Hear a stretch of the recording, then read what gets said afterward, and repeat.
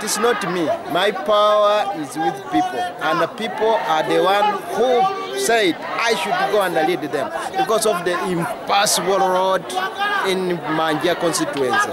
There are no hospital in.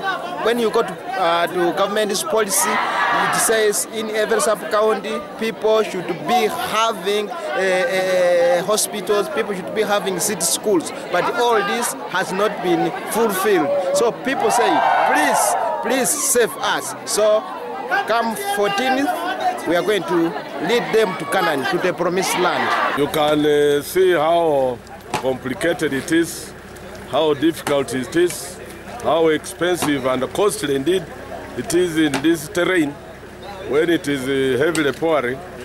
And in this rainy season, uh, vehicles get stuck because of uh, the poor road network.